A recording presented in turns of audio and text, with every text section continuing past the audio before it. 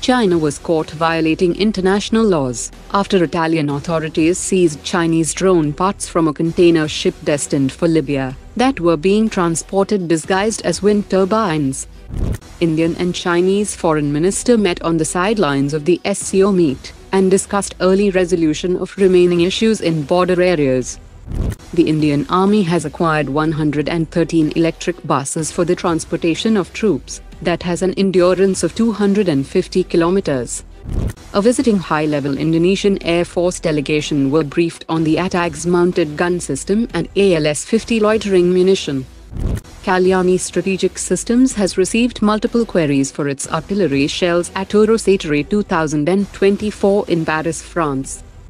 Critical onboard systems on light utility helicopter are currently undergoing testing, and its certification will be achieved within the next six months. The Indian Air Force Chief has inaugurated a weapons systems school that will impart effect-based contemporary training and prepare officers of the newly formed branch in line with its requirements.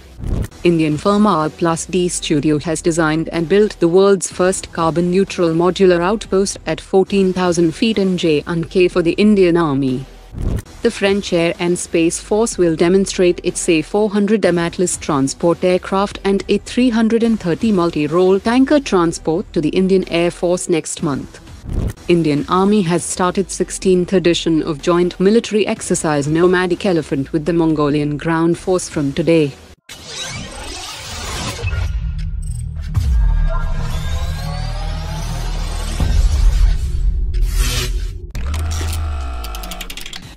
According to a report by Bloomberg, India and Russia might be revisiting the idea of jointly developing a fifth-generation fighter jet, and this comes as Prime Minister Modi prepares for his bilateral visit to Russia this month.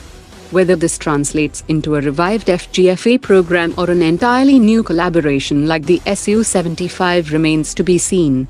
The report also says that payment difficulties are over, and India's decision to restart joint FGFA development is logical for many reasons, as Russia has addressed the shortcomings cited by the Indian Air Force during development and operational testing, and the latest Su-57 variants have been equipped with the AL-51 Stage 2 engine, that has a dry thrust of 110 kN and a wet thrust of 175 kN.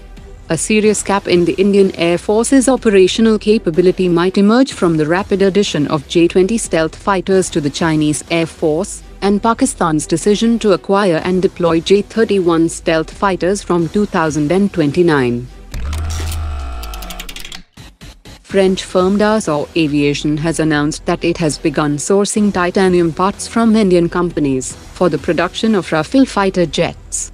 This strategic collaboration benefits both parties, as Dassault gains access to a potentially reliable and cost-effective source of high-quality titanium parts, while on the other hand, Indian companies have secured valuable partnerships with a leading player like Dassault Aviation.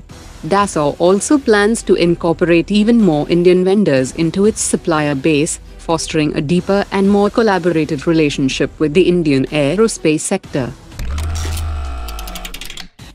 The DRDO chief has advocated for international collaboration to develop a sixth-generation jet engine that will power the AMCA and future sixth-generation aircraft. While discussions are ongoing with all three contenders, British firm Rolls-Royce stands out for its involvement in the sixth-generation Tempest program. Rolls-Royce has outlined some key features of the engine that it is developing for Tempest, which are highly relevant to India's needs that includes propulsion design integration, advanced thermal management, next generation power generation and power management system.